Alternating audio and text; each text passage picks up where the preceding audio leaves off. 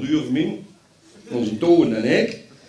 En wij waren zo eren, wij moesten per dag een kratje bier opdrinken.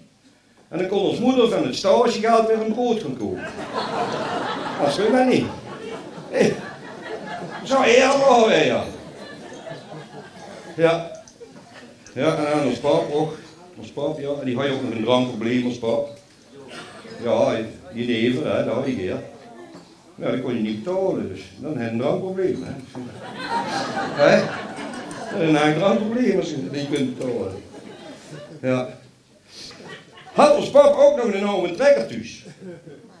Ons Wim, mijn vrijgezelle broer, die ging er smers volgende keer om zes uur met dat ding weg. Tien minuten, tien minuten later kunt u weer de erf oplopen. Gooi je kop. Ik zeg, weet me, hoe is het trekker kapot? Diesel is op, zei. Ik zeg, dan heb je nog geluk dat je veel verstaan van die dingen hebt, want ik was gewoon deur ja. Ja, ja, we nu dwalen we helemaal af. Want, uh, we hadden het eigenlijk over de schepping. Daar begon ik leuk mee, hoor. Schep, ja. Ja, de, die heilige en zo, daar heb ik niet zo. De hele Bijbel en zo. De, de, de vrouwen hier, die hebben er nog nog plaats aan. Van een scheppingsverhaal. Twee, drie wasmachines in de week, hè. Ja, dat staat in de Bijbel. God schiep hemel en aarde en het was goed. Ja. Nog wel landen heel veel. ja. ja. Heb ik trouwens ooit verteld dat ik een hond heb? Heb ik nooit verteld, hè? Ik heb een hond. Ja, nou heb ik verteld. Ja, een hele speciale, daar heb ik over. Mijn hond kan lezen. Ja, dat geloof je niet, hè? Nee, dat geloof de buurman ook niet. Nee, ik zeg, nou, ik op mijn kraan houden. Hij heeft de kraan. Let hem neer, de hond gaat staan. Ja, aan zet die muurman. Ik zeg, hij is aan het. Ik heb niet gezegd dat hij kan praten. Dames en heren, beste kijkers. Welkom bij de finale dag van het WK turnen landenteams en individuen in Helsinki, Finland. Fijn dat u bent afgestemd op Nederland 3 op Studiosport om de turners een hart onder de riem te steken. Zie ze daar lopen. Jarenlange training achter de rug. Sociaal en emotioneel alles opzij gezet om vandaag hier te staan.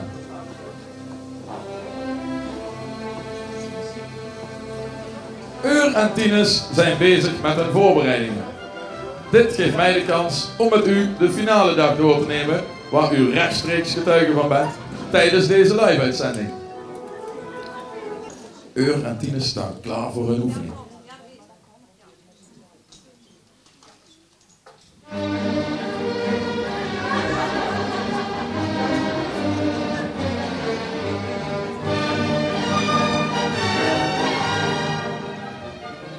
duidelijk op elkaar ingespeeld.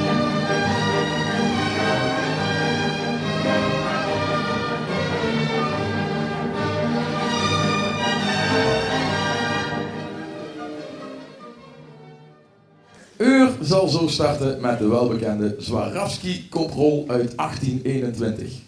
Moeilijk uitvoerbaar, we zullen het zo zien.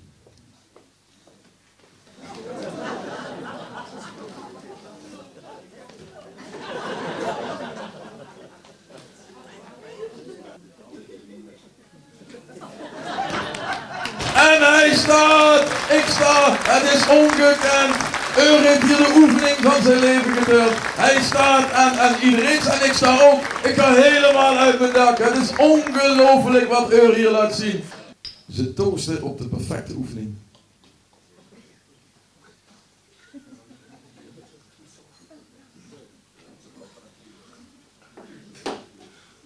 Daar gaan ze naar de mat. Het lijkt erop dat Eur en Tines strak staan van de spanningen. Zou ik ook niet gek vinden voor deze grande finale. Eur en Tines zullen iets laten zien, beste kijkers, wat nog nooit vertoond is op het WK. Ze hebben hier weken voor geoefend en vele blauwe plekken waren uit gevolgd. Eur en Tines zullen de Flying Dutchman ter vertoning brengen. Een zeer gewaagde lift die precisie en timing met zich meebrengt. Gaan Eur en Tines Nederland het kampioenschap bezorgen met deze lift? We gaan het zien.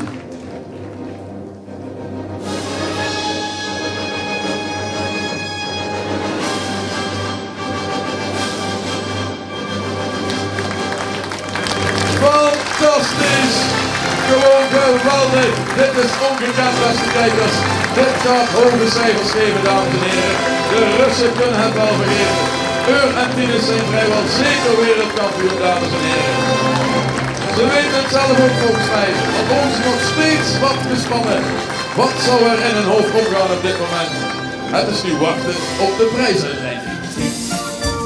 Ik ben Gerry Diaz. En voor verzoekjes gewoon even telefonisch bellen met de studio. Voor de laatste nieuwtjes, even kijken op Facebook. En kijk dan bij Gerry Bonanza. Voor vanavond hebben wij een speciale gast. Het is de voor mij nog onbekende piratenzanger Kareltje van Es. Kareltje van S. Oh, burgemeester, ik kijk hier even op Facebook. Facebook. Hij gaat al eentje, vind ik leuk. Ah, vind ik leuk. Ja, ja, ja. Weet je van wie? Nee. Wil Hendricks. Ah, Willy. Mooi wa? Willy vindt het nu nog leuk. Hé? Maar hier komt hij dan, het nummer van Kareltje van Es, De Boom.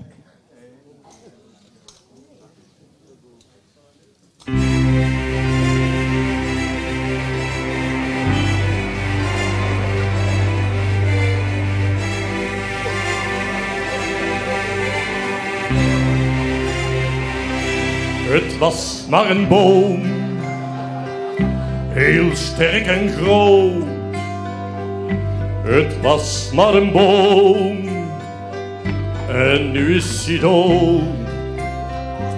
Hij groeide en stond in het Oefelse licht.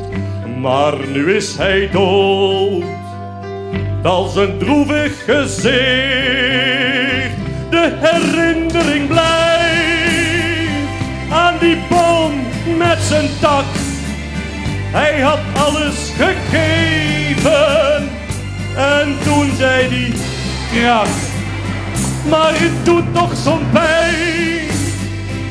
We zijn ze nu kwijt en er was geen vergunning tot Willy haar spijt. Het was maar een boom. Het klinkt afgezaagd. En dat is het ook. En dat is wat knaagt. 3000 piek. De keus is aan Wil. Of twee nieuwe bomen. Dat is een bittere pil. De herinnering die boom met zijn tak. Hij had alles gegeven, maar toen zei hij. En het doet toch zo'n pijn, want we zijn ze nu kwijt. En er was geen vergunning tot Willy Dank u wel. Wat mijn vrouw als eerste zei toen ze dat hoorde. Ik zou het wel niet weten. Als je maar niet denkt dat ik in een tent kruip. Ik zei wel letter dan nou te zeuren. Dat loopt al tien jaar in rond. Ja, en toen moesten we nog vertellen waar we met die een zak stof naartoe gingen. Ik zei vrouwen. We gaan eind mei. Tien dagen. Naar camping. De Breienburg in het Leker. Hey! Let dat op. Ja. Zet die vrouw vriend. Eind mei, eind mei, dat kan toch helemaal niet? Dan moeten de kindjes toch naar school. Zij en Durham, gewoon wij, de camping, de Breienburg en Sint-Dennis. Wat zei jij? Leker. Oh. Want dan kun je ze mooi naar school brengen. Met fiets. Ja. Dan zet hij van mij. Ja, voordat we op vakantie gaan. Wil ik nog wel even snel afvallen. Ik zei, dan gaan we maar meedoen met zo'n misverkiezing. Dan weten zeker dat je als eerste afvalt. Ja, nou hebben we alles weer een beetje onder controle. hebben we nog een tentenruil gedaan. Ja. ja, dat ging al gauw over in uh, partnerruil. Ja, ik moet zeggen, zo'n partnerruil, ik vond het toch wel lekker spannend. Ik vraag me dan toch steeds af, hè? Wat zullen onze vrouwen nou toch aan het doen zien? Ja. Knul. Hé, hey, maar eh, als ik nou vreemd gooi met jouw vrouw, hè? Ja? Zien we dan een beetje familie? Nee. Nee.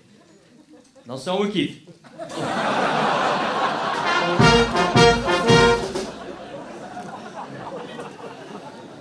Ja, maar nou zo'n avond, hè. Wilde wel weer eens wat anders. Dus een dag erop, wij alles ingepakt. En toen kwam ik op een camping terecht, hè. Dan hadden ze van die tenten met alleen stokken. Zonder doek. Ja, die hele camping had niet veulen, mijn lief. Nee. Alles was te zien. Ja. En scheerlijnen. Dit is ook niet aan, scheerlijnen. Nee, alles groeide even volop. Ja. Alleen maar haarballen en flossen. Man, er kwam de volk tegen, die wilde nog niet zien met kleren aan. Nee.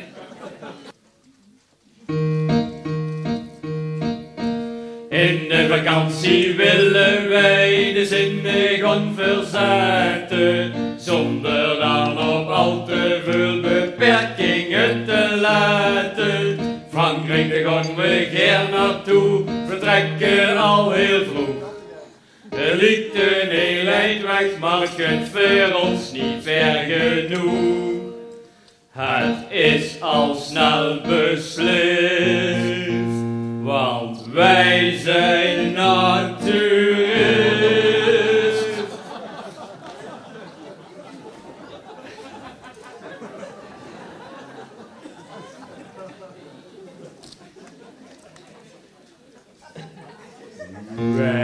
Wij gaan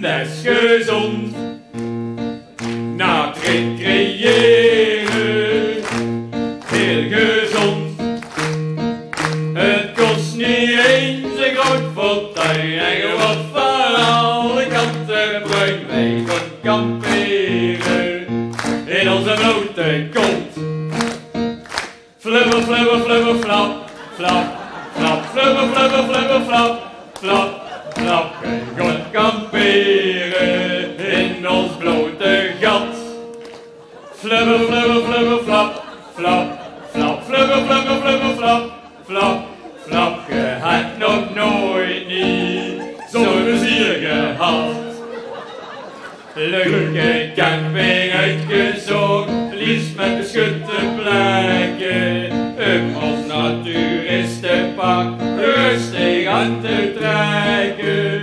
Wij vinden er geen luxe, al is het weer soms schuren. We dieken onze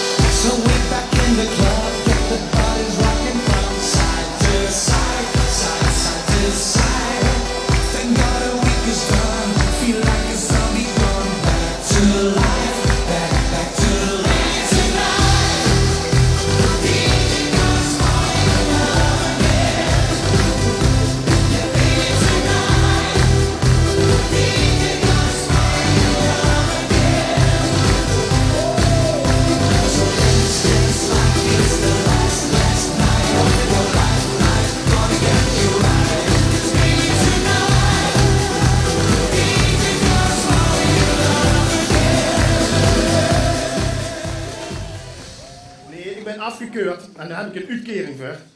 Ja, voor die uitkering moet ik dus wel één keer per jaar herkeurd worden. Is een keurmeester. Pas nog geweest. Die meer mensen hield zijn uh, uh, spreekuur in Boksmeer op het gemeentehuis. Ik zit er op de gang te wachten. Zit er nog zo'n mens.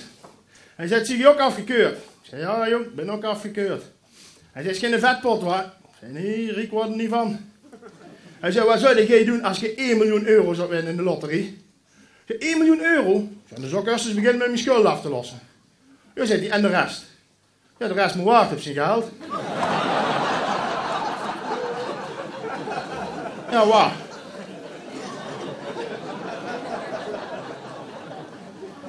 Wij zitten er op de gang te wachten, recht tegenover het kantoor van de burgemeester. Buiten dat kantoor hangt zo'n kapstukje met erboven een bordje. Bestemd voor de burgemeester. Hij er een briefje onder gehangen. Je moet er ook oude jas aan ophangen. Moeilijker dan dit worden ze niet vanavond. Nee, ons mee. Oh, die is dik. Oh, ja, die echt. Ja, hoe leg ik dat uit? Hoe leg dat uit? Ons Smie. Ja. Smie is eh, 1,70 meter hoog. Als ze ligt. Zo dik. Ons Mie is de enigste vrouw ter wereld die tegelijkertijd aan twee kanten uit de kan vallen.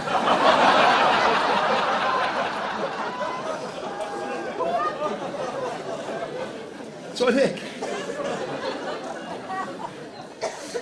Laatst was aangereden door de Mini Cooper. Die hebben dat ding nooit meer teruggevonden, hè? Zo dik. Och. Laat zei ze tegen mijn kijk, zou je graag een waterbed willen hebben? Zou je dat niet kunnen? Ik zei ze als kijken of we een zeiltje over de veld kunnen spannen. Hey, onze Koen die is voor zes jaar, die zit nu op de basisschool. En dan komt hij thuis met allemaal van die vragen. Hè. Nou, dan vind ik dat mooi dat ik als, ja, als wijze vader zeg maar, hem zo kan helpen. Van de week ook zei hij, papa ik heb een vraag. Ik zei, hoe gang. Hij zei, ik moet voor de Nederlandse les moet ik een woordje maken met het woord gewerwar. Weet jij iets? Dat weet ik wel. Hij zei, nou zeg maar. Ik zei, nou, een pen schreef het op. Ik zei, de jager wilde gaan jagen in het bos. Maar hij wist niet waar zijn geweer was.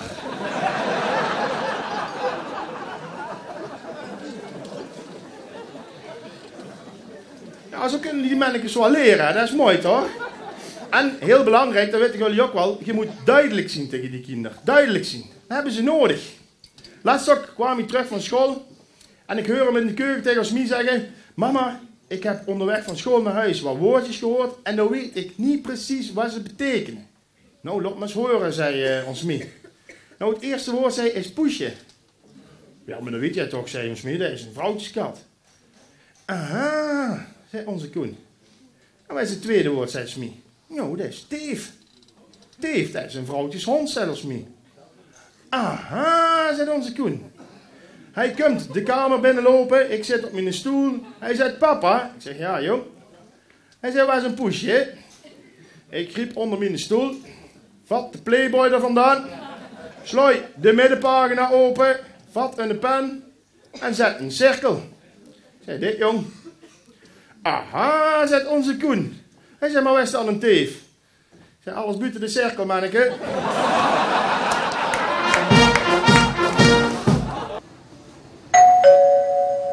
Passengers flight 747, destination Sochi, boarding at gate 13. Passengers Flight 747, destination Sochi, boarding at gate 13. Gate 7, gate 7. Hi. Hi. Hi, Mick. Hi, Dean. Wat fijn dat jullie er bent. Oh, maar vertel eens, wat moesten wij hier nou zo snel komen doen? Ja, ik vertrek.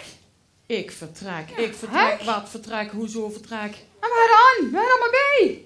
Ja, ik heb wel van die plantjes bij Bertuske op de zolder gehaald. Die vind ik altijd zo lekker ruiken. Dus uh, ja. Ja, en uh, ik gooi naar Ibiza. Ik ga je emigreren. Naar Ibiza? Ja, ik wel. Ik Wat vindt zo'n Herman ervan dan? Herman? Ja, breek me de bek niet op over Herman, die knurft. Oh? Wij. Wij, ja wij. Er is eigenlijk al heel lang geen wij meer tussen Herman en mij. Nee, dat begon eigenlijk al de ochtend na onze huwelijksnacht. Ik zei tegen Herman, Herman, ga jij koffie zetten? Of kun je dat ook al niet? Ja. Nee, gaat had ik al druk, wa? Ja. In de kroeg. Oh. Laatst kwam je thuis, plofte je op het waterbed. Ik zeg, Gerard, waar zie je toch laat? Ja, had hem je wat te vertellen of zo? Ja, zeg, ik moet wel wat vertellen, zei hij, maar kun jij om mond houden? Ik zeg, ja, dat kan ik. Vertel eens. Wil trusten, zei hij. Ja, goed. Slopen is dan nog wel altijd het beste voorboedsmiddel, hè? Ja, Ja, dat is. ja, ja. Dat is. Ja. Zeker weten. Maar ja, verboedsmiddel. Toen, toen jullie nog vrijden, wa? Ja. Gebruikten jullie toen ook al een verbehoedsmiddel? Nee. Nu, nu wij gebruiken, nee, wij, wij dienen helemaal niet voor het huwelijk. Oh.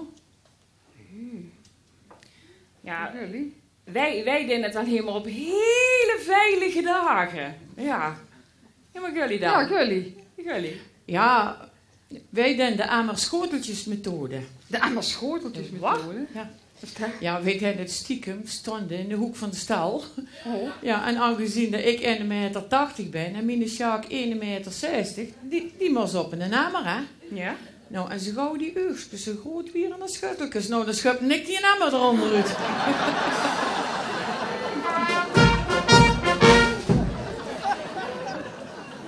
maar ja, getrouwd, zo jong. Ik had je altijd maatregelen genomen. Ik zeg, Sjaak, jongen, jij bent aan de beurt. Jij laat er maar eens in de knup inleggen. Oh, zit hij nou eens hier net wel lang zat?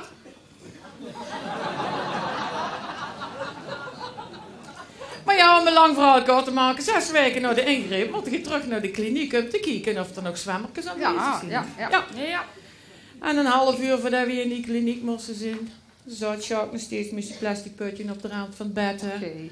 Oh, ik zeg, goed jong, zal ik u een handje helpen even dan? Nou, wa- wat er gebeurde, ik weet het niet. Maar je had eerder laken vol dan dat plastic putje, hè? Ja, en tijd voor poging 2, hè, weet je niet? Ah, doe gewoon. Nou, ik vouw dat laken op en ik stopte in een plastic zakje en wij naar de kliniek, hè. Wij dat uitgelegd aan die receptioniste. Ach, zegt ze, dat geeft helemaal niks. Ga maar even in de wachtkamer zitten. Never dat stel met die plank uit dat schrootjesplafond. Het belangrijkste in een relatie. En dat is voor iedereen verschillend, hè? Ja. Hier, hier, zit iemand bijvoorbeeld die vindt eh, eerlijkheid het belangrijkste in een relatie. Hier zit weer iemand die vindt eh, eh, humor het belangrijkste in een relatie. En hier, hier zit, weer, zit, zit iemand die vindt seks het belangrijkste in een relatie. Hè? Ja goed, dat is dan misschien een verkeerd voorbeeld. Het, was ook maar een voorbeeld, Tini. eh. Ik niet, wat, ja, wat vind jij nou het belangrijkste in een relatie, eh, Tini? Wat is? Eerlijkheid. Nou, ik heb, ja, jij ook? Ja, ja. Ik heb niet het idee dat je nou helemaal eerlijk bent. eh. Ja. Ja, dat is mijn probleem. Ja. Maar hoe lang heb je al verkering? Of zit je getrouwd? Ja, die vragen dan ze getrouwd. En hoeveel jaar zit getrouwd? 16 jaar alweer, dat is toch al een hele tijd, hè? En nog steeds verliefd, of? Ja. Nou, ik geloof niet dat eerlijkheid het belangrijkste in een relatie. eh, Je kunt het mooi vertellen, Tini. Ja. Nee, maar ik bedoel, bij Mine, ik... ik moet niet meer verlullen. Ik, eh, eerlijkheid, ik weet wel, bij Mien is eerlijkheid niet het belangrijkste relatie. Echt niet, hè? Nee. Ik heb het wel geprobeerd om altijd eerlijk te zien. Maar dat breekt een keer op, hè? Dat breekt een keer op. Dat gaat een keer verkeerd. Dus een voorbeeld. Eh, ik lig op een gegeven moment met mijn vrouw in bed. We zien wat aan het knuffelen met elkaar. En op een gegeven moment heeft mijn vrouw in de gaten dat ik het wel naar mijn zin heb. Ik begin wat korter te oimen, zoals je dat noemt. En ze vraagt aan mij... Hmm, wat denkt dan? Ik zeg, oh, Die ken ik je toch niet. Ja.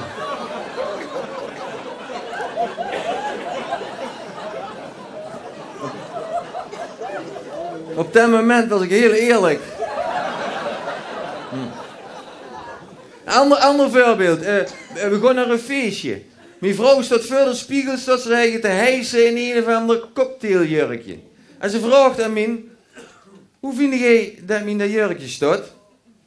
En ik zeg heel eerlijk, ja, dat staat ook best goed. En ze kijkt nog eens in de spiegel en ze zegt, nou, ik denk toch dat ik iets anders aan doe. Ik denk dan, vraag het dan niet. Ik zeg, waarom zou je nou iets anders aan doen? Dat staat toch goed? Ja, zegt ze, dat jurkje dat maakt me dik. Ik zeg, dat jurkje dat maakt toch helemaal niet dik?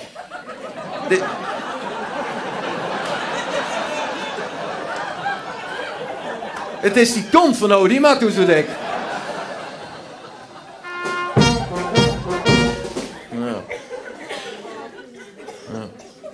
Is seks dan het belangrijkste in een relatie?